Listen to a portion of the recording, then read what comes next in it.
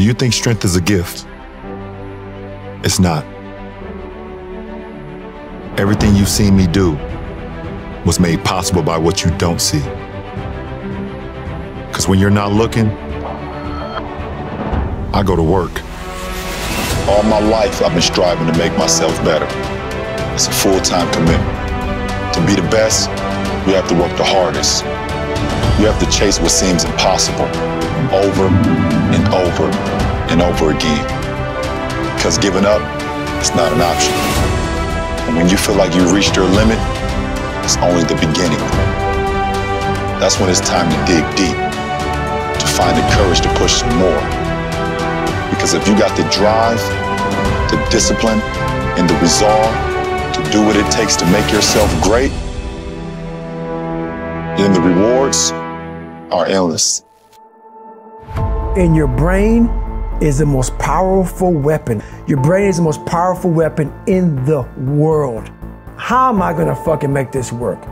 And, I, and all I knew back then was hard work. The only way anything gets accomplished. That's all I heard back in those days. You gotta work hard. You gotta work hard. I'm not getting how to, I can't get this paragraph. I can't remember what the fuck's in this paragraph to pass this test to get in the military. Read again. Still not getting it. Read it again. But if you're not getting it, write it out. And that's how I started learning. Okay, well, I can't, I gotta write out every fucking thing I do. And then write it out again. And write it out again. And guess what happened? I got it. I got it. I can't swim. I'm negative buoyant. Go back again. I can't swim. Go back again. Go back again. Go back again. I got it. I realized if I keep going back and going back and going back until the shit just becomes, your mind will say, fuck, okay, we're gonna figure it out. Because he is not going to stop. It's not like I'm gonna try one more time. No, I'm gonna, it's just like alarm clock goes off, boop, we're going back. I can't read right, we're going back. I gave myself no way out, and my mind realized that. They said, okay, we're gonna adapt and overcome now. And that's how you get through things. You put yourself, you immerse yourself wherever it is, and you become that. You become that and give yourself no way out.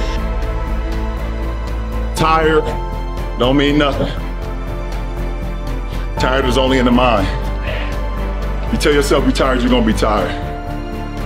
I don't get tired. Champions are focused on the goal.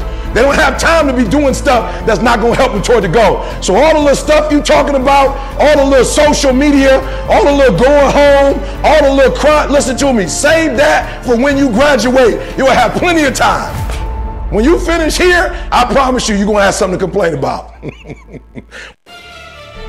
It is how you practice. It is what you do that makes you look like you look. It is the process of the grind that shapes you and forms you. It's not the game. And that's why most of y'all get beat in the game or make mistakes in the game because you think grinding is what happens when the sun comes out. You think grinding is what happens when the lights come on. You think grinding is what happens when people get in the stage. That's not grind. The real grind is in the dark when nobody sees you. When nobody knows what you're doing. When you studying without coach, when you putting in those extra reps, when you watching those videos and you getting inspired, when you change your music, it's the process that makes you sweet. Nobody knew who I was. No matter who you are or how far you've come, we all know there's always more work to be done.